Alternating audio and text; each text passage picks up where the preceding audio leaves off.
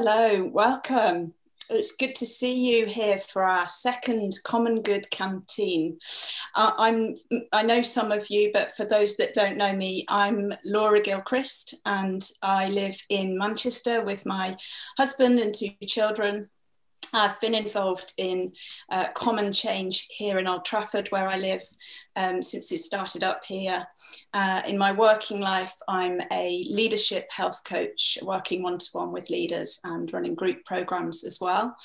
Uh, I want to introduce you to my co host, uh, Matt Wilson, who I'm sure many of you know. Um, Matt lives in North Shields in the northeast of England.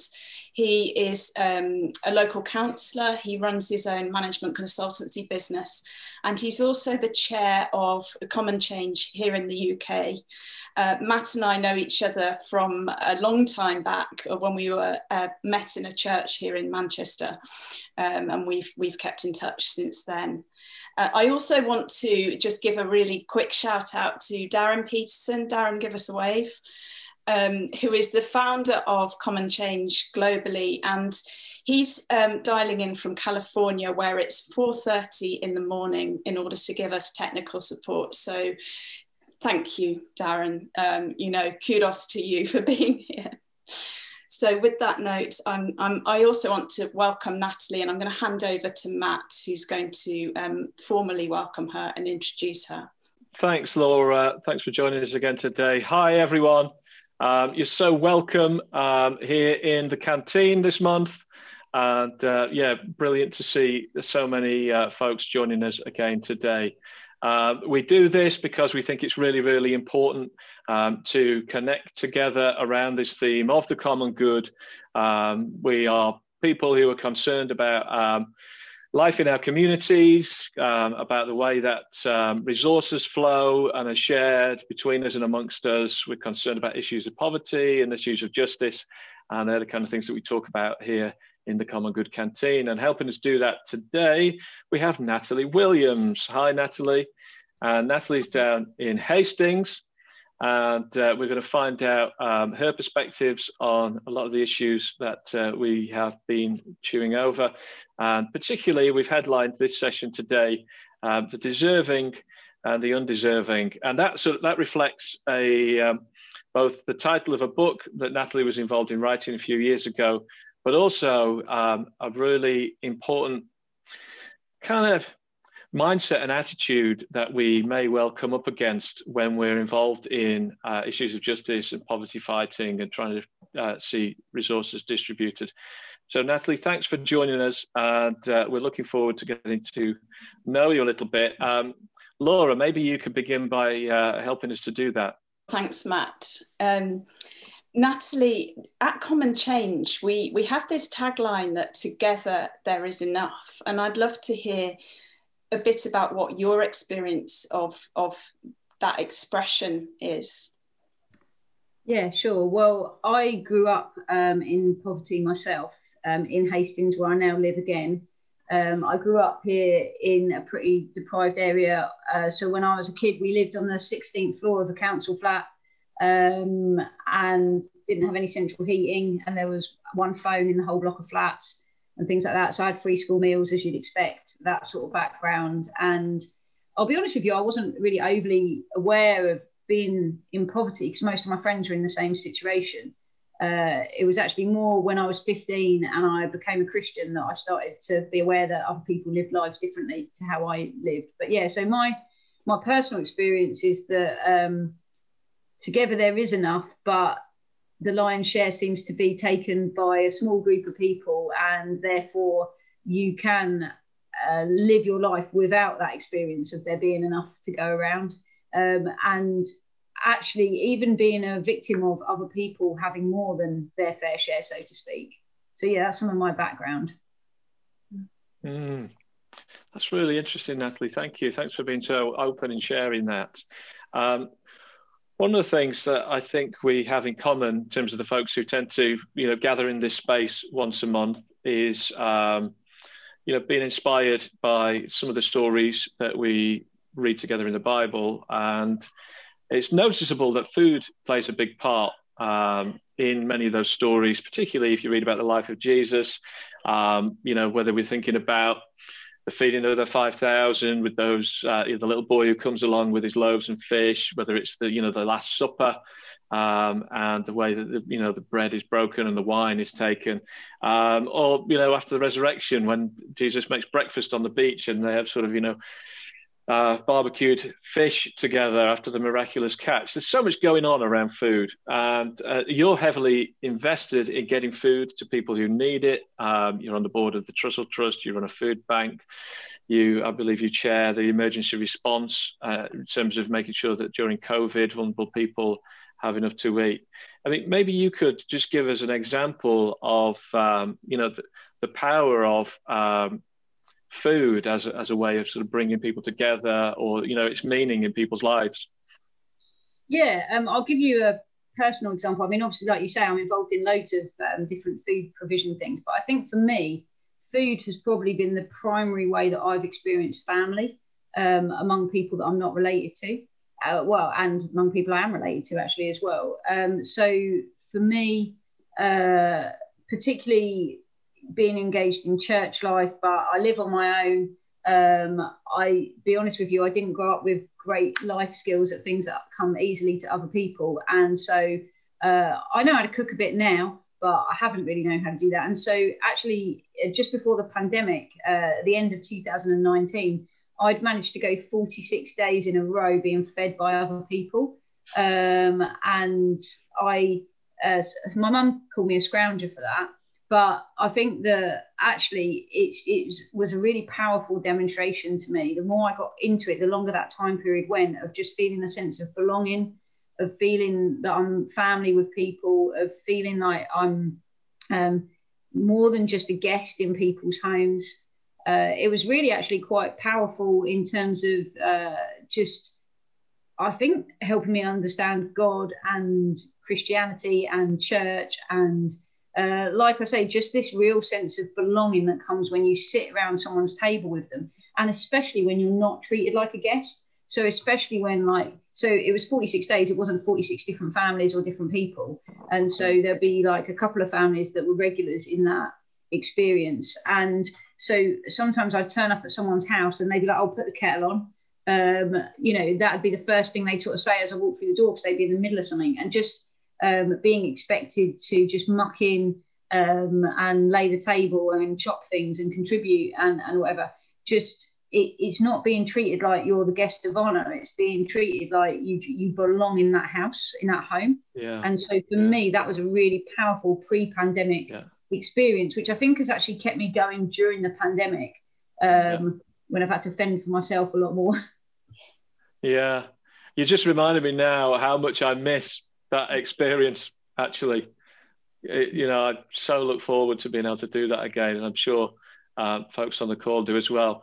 Um, if you weren't on if you weren't here last month, uh, one of the things we like to do is give you an opportunity to meet to, with one another. So before we go a bit deeper with Natalie, um, we'd like to just put you into some breakout groups for five or six minutes. And so if you could just introduce yourself to one another, um, you'll meet a bunch of people and you'll get a chance to talk to them again later in the hour.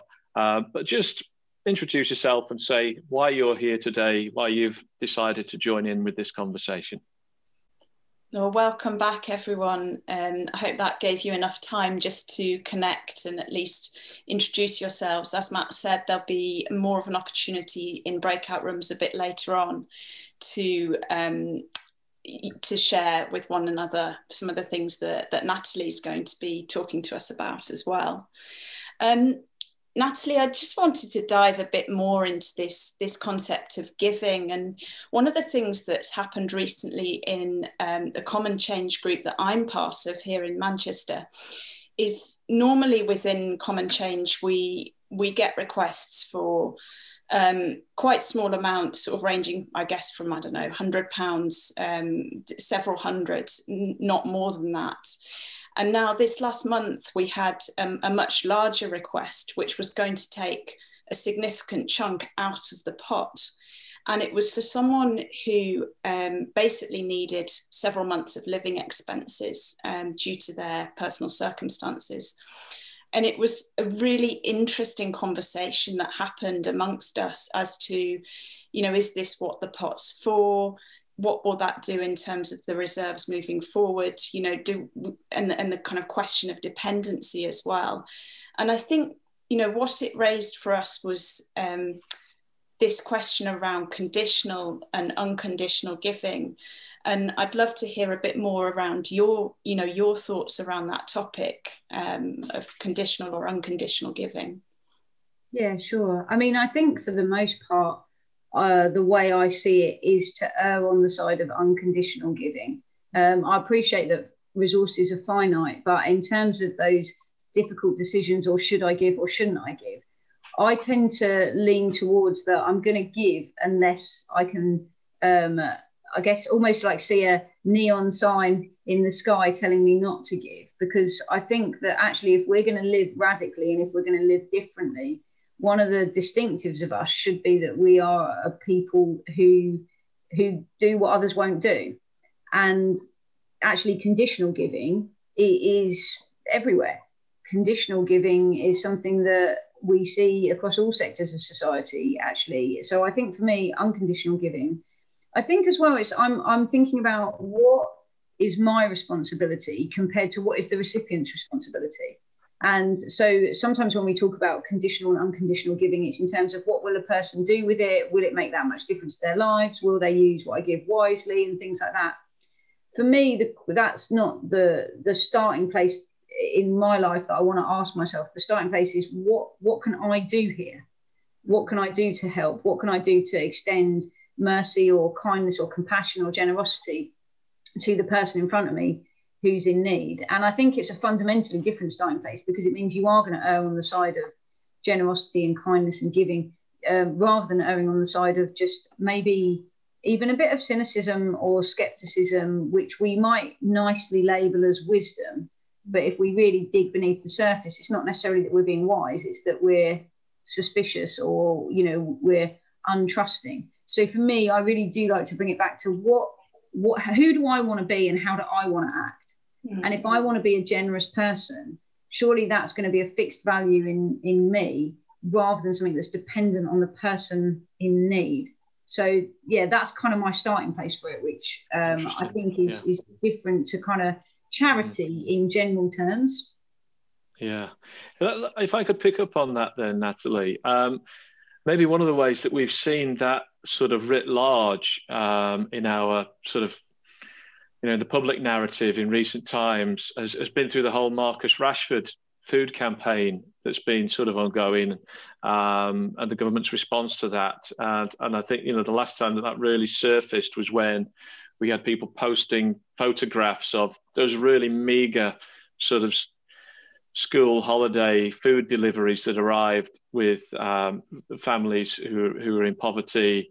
Uh, and it, it, you know, it came to light that actually the contract had been outsourced to some private companies, and you know, this so-called packed lunch had ended up like costing a tenner or whatever. And uh, it was that whole question around, you know, why not just give the resources to the people who are in need? And and it seemed like it was a mistrust, essentially, of those who were in need, that they might kind of just, you know, take a food voucher and go and swap it for booze and fags or, or whatever sort of the, you know, uh, government were worried about. Um, yeah, and so, you know, what, what's your take on that in terms of um, how was I guess was that just an example that popped up in the media um, and was just a bit of a a distraction, or are those, are those, real attitudes that actually do need to be challenged? That people worry about? Um, oh, can I, you know, can I, can I get involved in dealing with this poverty because actually people don't make good choices?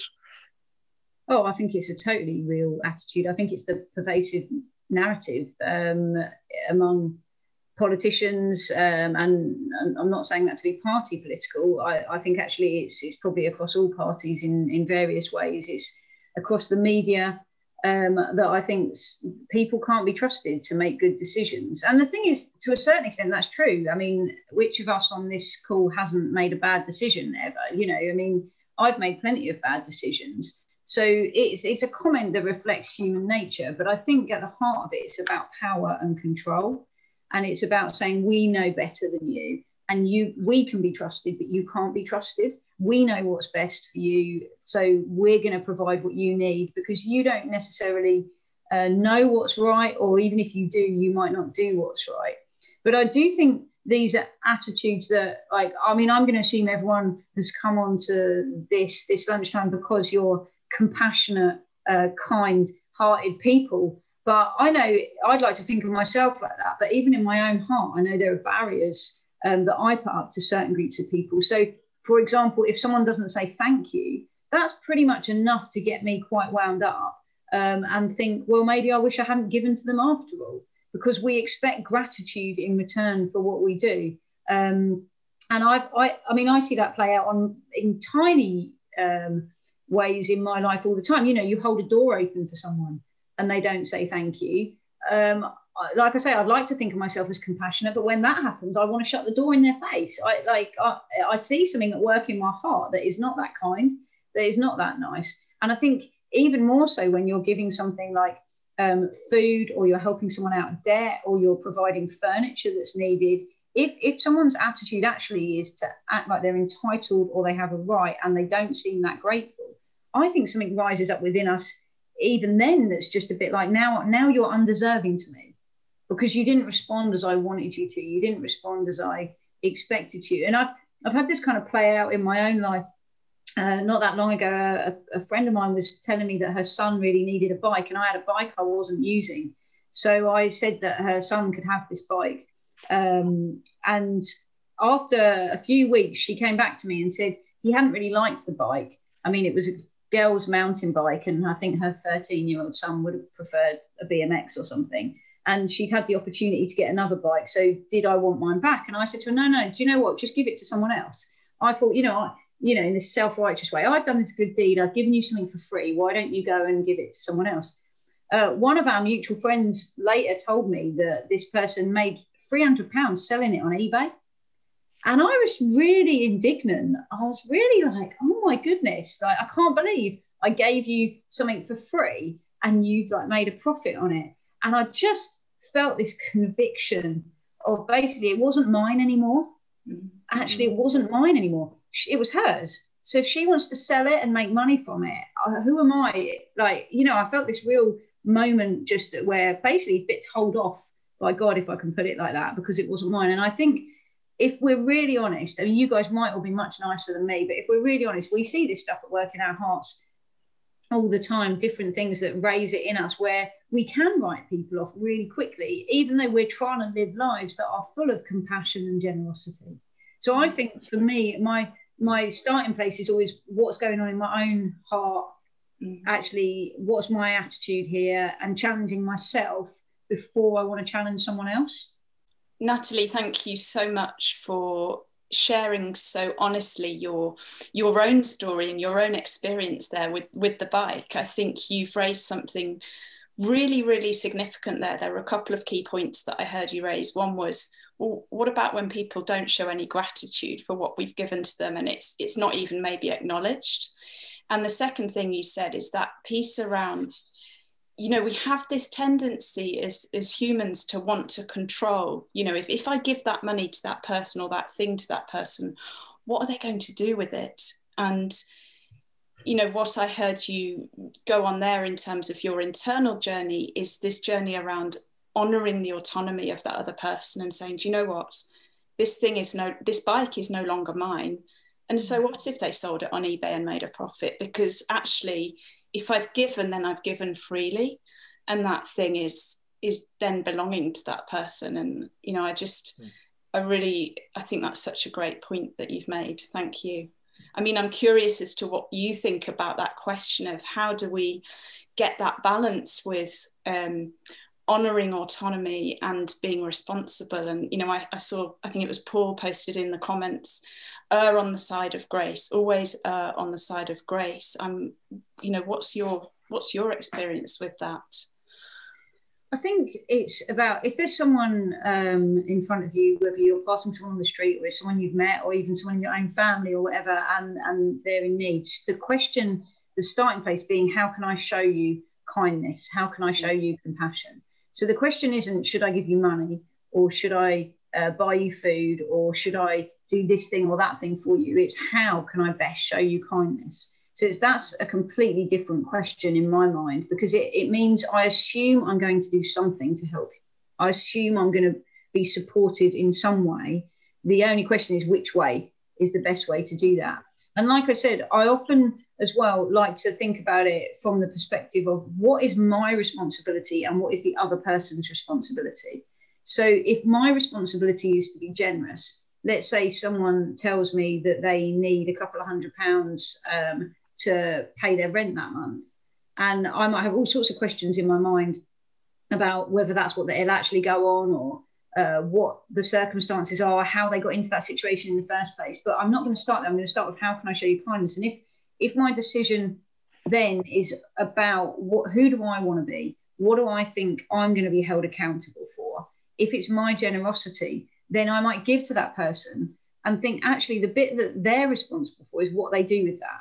So if they're if they're not wise or they're not a good steward of what I give, I'm that's not my um, responsibility necessarily. And I know we can, um, you know, what we don't want to do is cause people harm. So I, I'm just there's all sorts of caveats I could add to that.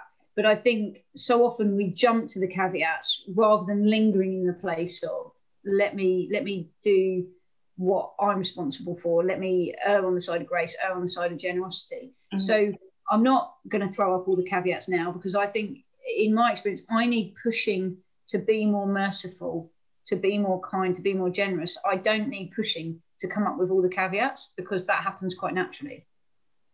Mm. Yeah, that reminds me of, and here's one I prepared earlier. So um, I've, I've recently been rereading this this sort of classic. Some of you will be aware of that. So Richard Foster's Money, Sex and Power. Uh, it's been around for what 25 years or something like that.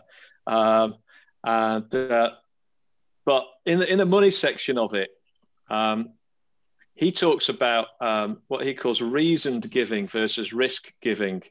Um, and I guess it's you know it's this relationship between spontaneity and stewardship. I think there's there's a, somewhere in the New Testament doesn't he talk about God loves a cheerful giver or a hilarious giver? I think is the sort of proper translation of it. And yet we we get our minds sort of caught up in this loop of stewardship, which is what we've just been spending quite a lot of time talking about, really. And uh, yeah, so I I wonder about those sort of two opposing dynamics. And uh, we had a little bit of preamble talk, didn't we, a week or two ago, Natalie? And um, I, I, was, I was fascinated. I think you made a comment to me about about saving for a rainy day, uh, and whether that uh, you know. So do have we come down too heavily, perhaps, on on sort of you know stewardship of our resources, and perhaps you know living a bit more lightly is is what God asks of us. Yeah, I mean, I think a lot of the most kind of radical teaching I hear on this in kind of church life in terms of Sunday sermons is along the lines of, you know, um, maybe give 10% to the church, give away another 10%, and then spend and save the rest. And to me, that doesn't sound radical in the slightest, and it doesn't particularly sound biblical. Um, you know, they're actually, uh, and I know that some will find this controversial, but it doesn't seem to me to say in the Bible to save for a rainy day and to let your bank balance go up, even if you don't know what that's for, or, you know, you're just basically accumulating. And for me, I don't know, I'd love to see us get back to a bit more of a radical dynamic where we assume that whatever's in our bank account or whatever's in our pocket isn't just ours. Because actually, the truth is, if you've got enough money in the bank to pay for stuff breaking down or, you know, to as a buffer zone for any eventuality, then you actually never need to live by faith. Um, and I think that's something that God's been personally challenging me about is do I want to be someone who lives by faith? Because all the brilliant faith stories of provision I hear are all from people who don't have very much. Um, you know, that's that's where the real faith, the rubber kind of hits the road, doesn't it? If you haven't got very much, and and then there's miraculous provision, we know those stories, we hear those stories. They're amazing. They don't happen to people particularly who are just accumulating more and more wealth because they don't need to cry out to God. They don't need to ask anyone else for help. They don't need to experience community even in the same way because you can live as an island if you've always got enough. So for me, I, I think there's a challenge to what does it mean to live by faith. But I also think uh, my understanding of biblical stewardship is that it has far more to do with giving than with accumulating. Um, so for me, when I look at what it means in the Bible to be a good steward, it seems to mean giving away. It seems to mean being generous. And I think the problem in a, a wealthy society on the whole, like ours, is that we um, even even as Christians can have a mindset of um, well, uh, if if the thought of giving or someone presents a need to me comes into my head, I'll pray about it. I'll I'll ponder it. I'll I'll see if that seems good and wise. Um, whereas I was talking to a friend of mine the other day, and she said basically, if the thought comes into her head to give, she assumes that it's right to give, and she basically says, God, if you don't want me to give, then say a massive, loud, clear no that I can't ignore. And what she finds is that he doesn't say that, and that she always ends up giving. And I just really like that flipping it on its head from oh, do you want me to give rather rather than ask that to ask do you, do you is there any reason why i shouldn't give right now hmm. um and, and again i think it's all about just flipping our kind of culture on it on its head and and not just letting the, the culture around us of individualism and accumulating wealth and possessions just kind of pervade into us. It's, it's kind of pushing back on that and going i need to be intentional if i'm not going to live like that yeah, Absolutely, I love that perspective. Sorry, Matt. Um, I was just going to say we probably need to get to the next breakout groups in in, in, in a couple of minutes' time. So just sort of, over to you. Last last question, Laura, before we. Go. That wasn't a question. It was just. Oh, okay. excuse me. It was just to say I love that perspective because it, you know, in our culture, there's very much that concept of independence that's so kind of almost like a god, isn't it? And and what you're saying is actually we are our brother's keeper. And if we can see ourselves as interdependent then it totally flips that question of should i give round to well why why wouldn't i give um, and like as matt said we do want to give people a chance to talk in breakout rooms. So um, in a moment i'm going to ask darren to kindly open those. And really just want to invite you to share in your small group. You know what do you what what's inspired or challenged you about what natalie's um, been been sharing? And and you know is there anything that you're kind of thinking that you want to go away and do differently from what she she has shared here? Hi everyone, welcome back again. Well, I, I do hope that you uh, enjoyed your conversations with one another there.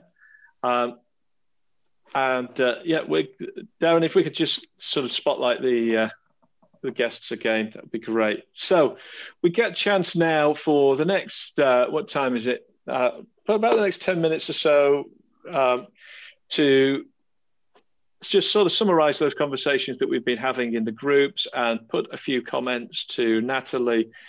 So, what we'd like you to think about um, if you've just had a conversation in your breakout group um, that you think is going to have you know some relevance for all the rest of us, um, please do just uh, raise your hand uh, so you can look on the bottom of your screen. You should have a sort of a reactions button, and you can click raise hand. If you've got something that's cropped up that you think, you know what, you know that really flows on from the uh, the interview that we did with Natalie, and we'd like to perhaps hear a little bit more from Natalie on that point.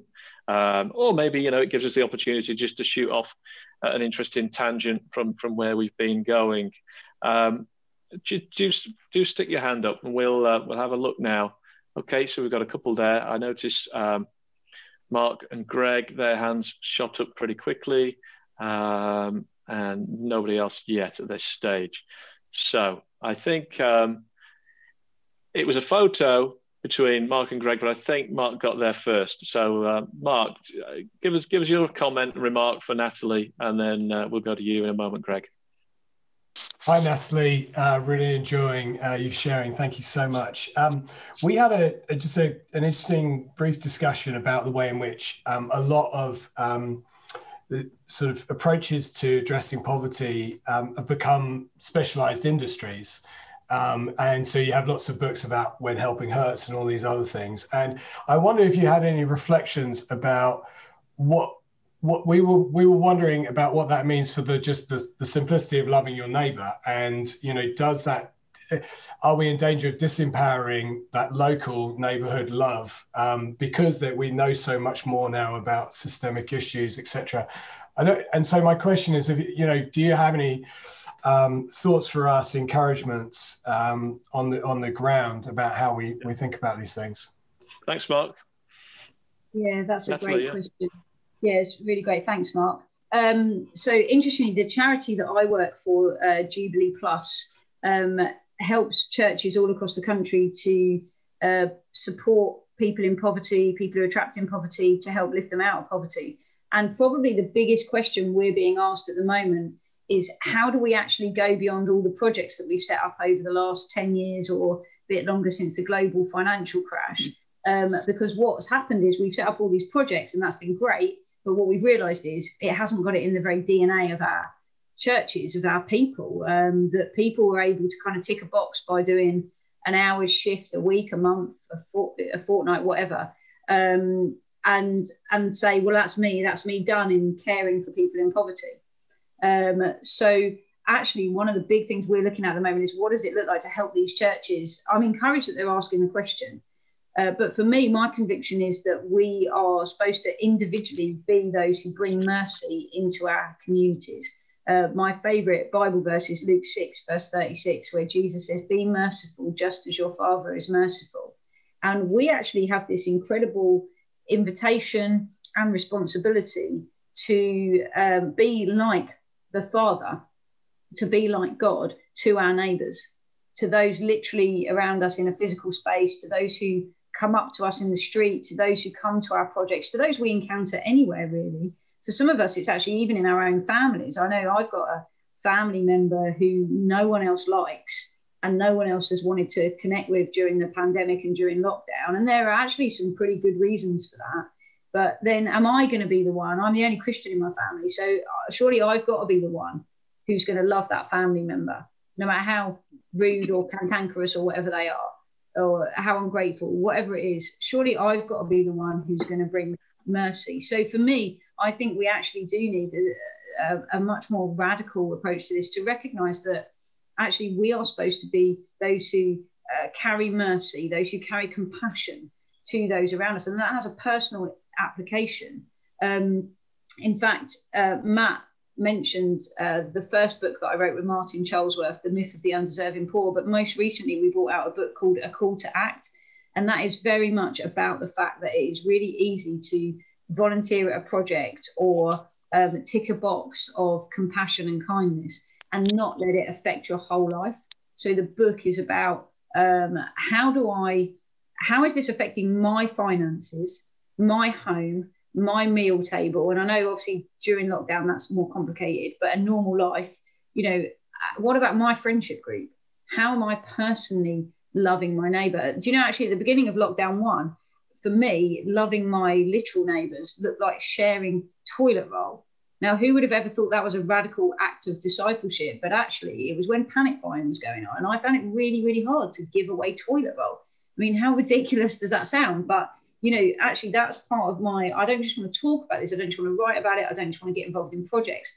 I've got to live this out in whatever practical yeah. ways that means. So for me, yeah. there's a massive journey for us to go on of recognizing that actually this should be a normal part of discipleship. It's not for a few enthusiasts who'll give up their lunchtime to come on a Zoom call. It's actually for anyone who claims to be a follower of Jesus. And I think there's a long way to go before that is the culture of our churches. Yeah, yeah, thank you. Let's have a comment from Greg as well. Okay, um, can you hear me? Yeah, go ahead. Okay, um, I think Natalie is quite right to push this personal responsibility. Uh, I recognise in myself there's a mean and controlling streak when I sort of feel I ought to be Never. generous to people. uh, and I do on occasions walk by people who are, are, in need, and that is not one of the best things about me. I'm thankful I have a wife who is much more spontaneous in her generosity. And she's done things like give away rooms in our house and give away lots of our money without even bothering to uh, to talk it over with me. And I think that is is actually good. That's, but there are some situations Greg, if we could just have the question so that Natalie can respond to you. do you think, though, there are some situations where it's more important to have a, a structured response? For example, where there there is a big need. Uh, I think of the case of uh, a uh, illegal migrant. Well, that's not quite the right word, but an undocumented migrant woman and her daughters uh, who needed uh, something like five thousand pounds to pay for government fees to get her status and her permission to stay regulated and we did that, but we couldn't do it out of our own money. So we, we had to organize something between our church and another church and a just giving page and all sorts of Okay, great. I'm, I'm conscious of the time. So let's hand that over to, uh, to, to Natalie. So, yeah, w- when does the personal mm. sort of switch into the programmatic or, you know, into the sort of structural then, then Natalie? Well, I, I think, it, you know, it's hard to give an exact, right, this is the line. I think the important thing is to recognize that it's both. It's the same as when we get into debates as to is it about church or charity or is it about um, state and government and policy? Actually it's never as clear cut as it's one or the other. I know many of us myself included would like kind of neat little boxes uh, to put things in. But i think actually the truth is it's about everything everything is necessary. And that's why we need to influence every area. It's why it's not enough to just um, you know get involved in people's lives and love your neighbor we have to at some point be influencing the systems that hold people and trap people in difficulties as well. So for me it is definitely both things that are necessary. I'm not sure i can draw for you a neat line that will tell you when to go when i would cross from one point to another. Um, i don't think that line exists. I think it's something that is different in every community different in every street different in in every neighborhood. But yeah, what I would say is that it, it does have to be both. We have to uh, bring change at a systemic level, not just on an individual level, but we shouldn't neglect the individual while we're off trying to change policy. If, if I could bring in Laura at this point as well. So, Laura, what, what, what I'd like to ask you is um, so, you know, you're part of a common change group which means that along with a bunch of friends in your neighborhood, you know, you you all put into a, a kind of a common pot. You put a bit of money in every month, and that pot grows. Um, and you explained to us earlier that you know you a, a request had come up recently for quite quite a lot of money um, that was more than you would normally give out of that pot. So the question I'm thinking there is, I'm assuming that you know you and Ben don't only give from that pot. That, and so, uh, how do you distinguish when a need might be something that you might want to just meet on your own, uh, or whether you might go to the group and say, actually, we've got a larger resource here that we might be able to unlock for this individual. Or is that a, a, a, a kind of process you've ever had to go through? Oh gosh, it's a great question, Matt. And I just wanted to, I will answer it, but I just wanted to say for people that were wondering that we did agree to that um, that uh, gift, the larger gift, but and it was a really similar to this conversation. It was a really fruitful and interesting conversation that emerged in the process of making that decision. So I just wanted to let people kind of know the ending to the story before we wrap up. I think. Um, I think for us, to be honest with you, it comes down to um, what we can afford. Like if we've got if you're talking you know 10 20 30 pounds then that's probably something we could do from our own pocket.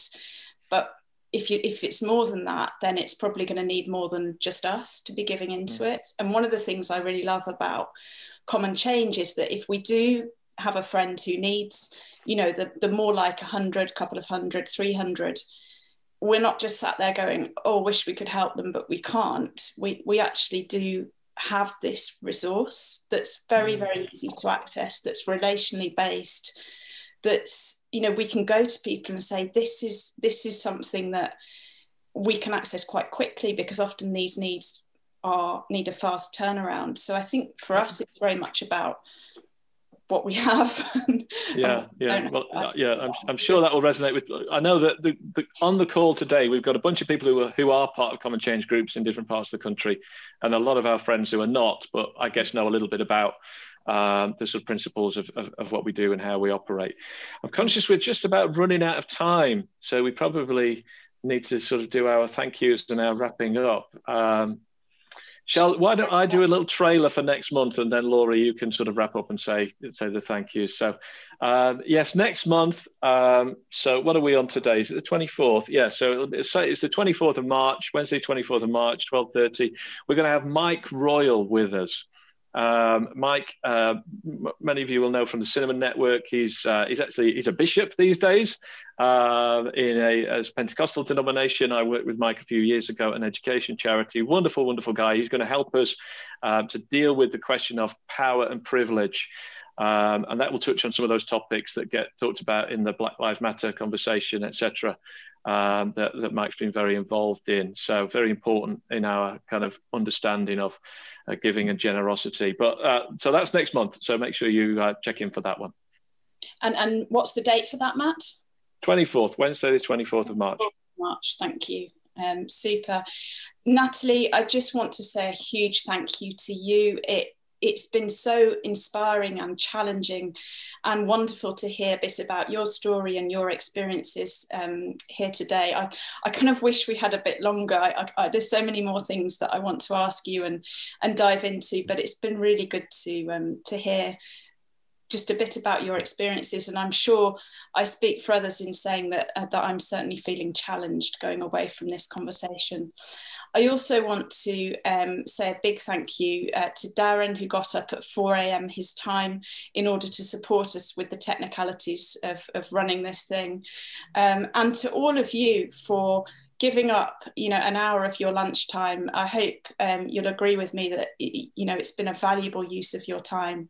And we really hope to see you uh, next month on the uh, the 24th of march. Thank you so much. Great see you all. Thank you from walking away. Let your friends laugh. Even this i can stand